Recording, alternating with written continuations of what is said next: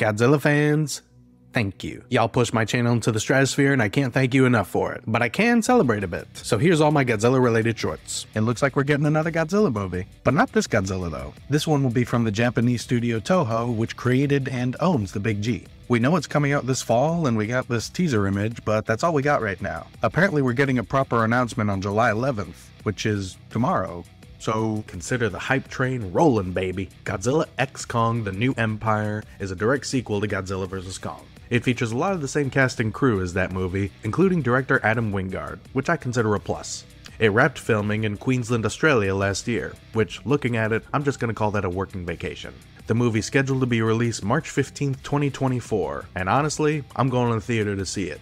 When Godzilla vs. Kong hit the theater, it was pretty much the first big movie to hit theaters post, you know, so it holds a special place in my heart for it.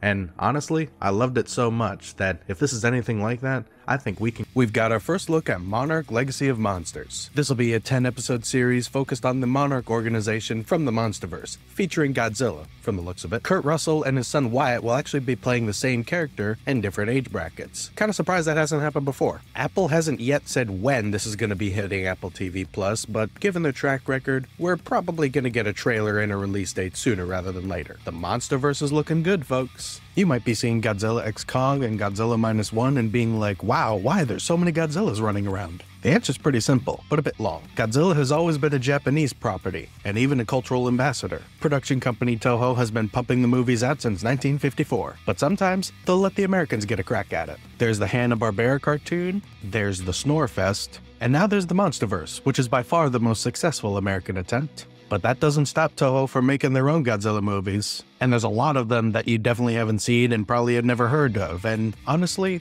they're worth a watch. So that's why all you gotta say is new Godzilla movie, and I'm excited. This one will be taking place right after the US dropped the Suns on Japan, and uh, the Big G has something to say about that. I don't think he speaks English though, it looks like his only language is destruction. There's an ex spouse joke in there, but that's beneath me. This movie is hitting theaters in Japan November 3rd and the US December 1st and I'm gonna be the first in line because Godzilla the series, I mean, Monarch Legacy of Monsters, has a trailer. And it kind of surprised me. I was bracing myself for a very people focused show, but it looks like we're getting plenty of monster appearances. Or maybe they just loaded the trailer up with those just to sell the show. Either way, this might be the thing that gets me to subscribe to Apple TV Plus. More Godzilla is never a bad thing. Now, Godzilla has many flavors, and this one looks like it's leaning towards a more serious, bleak type of story. Unlike previous entries, this Godzilla looks like it's making landfall right after the atomic bombs dropped on Japan, and he looks pissed. I'm really looking forward to this movie.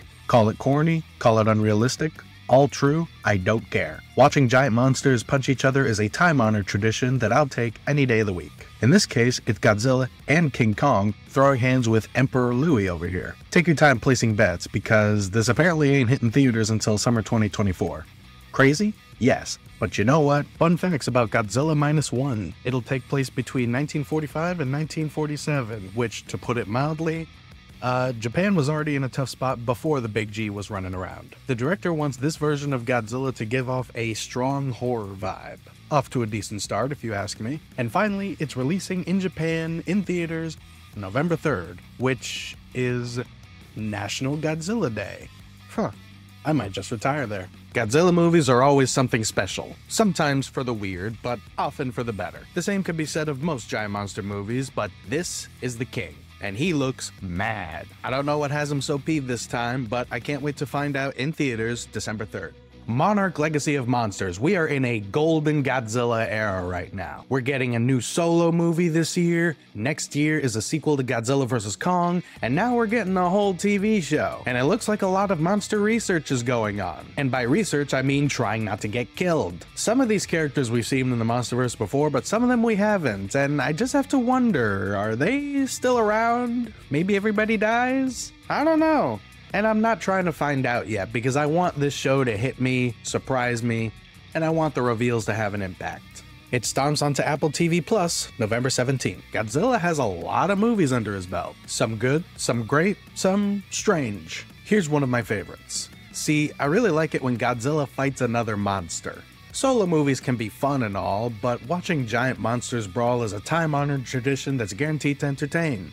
But sometimes, a solo movie will have a clear message that uses Godzilla as a piece of a much larger narrative. And that's what makes Shin Godzilla so special. I think it's the best solo Godzilla film since the original. Sure, it's boring as parts, but it knows what it's trying to do, and it tells a great science fiction story where Godzilla really feels like a destructive force. Disagree? That's fine, but don't worry, because we get the final trailer for Godzilla Minus One before it hits theaters in the US. I only watched this trailer once because I want to go into this movie as blind as I possibly can so that all the surprises hit me hard. But at the same time, these trailers, this movie, it looks so damn cool. Anyways, shower thoughts. Why is Godzilla's breath blue? Well, originally it didn't have a color because, you know, black and white. But in the OG King Kong vs. Godzilla, they made it blue. Best I can tell because it looked cool, but it's also another color sometimes. Like red for Burning Godzilla, or green for Zilla the Redeemer, or purple for the 19th Angel. Is that all of them? I don't know. Some people look at Godzilla movies and think, oh, dude in a suit or CGI monsters. Sounds cheesy. And yeah, it can be cheesy, but it can also be genuinely dramatic. Here's your proof. Godzilla Minus One is in US theaters right now